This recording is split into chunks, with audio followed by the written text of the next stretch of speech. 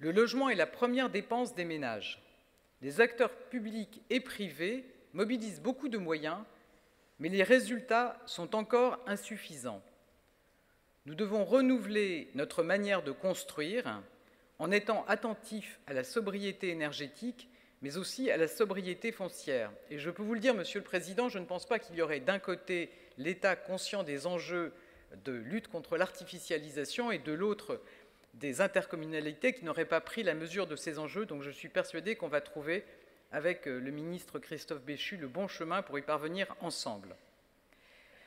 Nous devons être en prise avec les enjeux du quotidien, notamment en matière de mobilité et d'emploi. Nous devons placer les moyens et les responsabilités à l'échelle du bassin de vie, tout en répondant aux exigences de production de logements et de mixité sociale.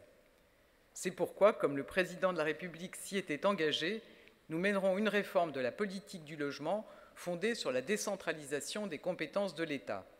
C'est un chantier important que nous lancerons avec vous très prochainement.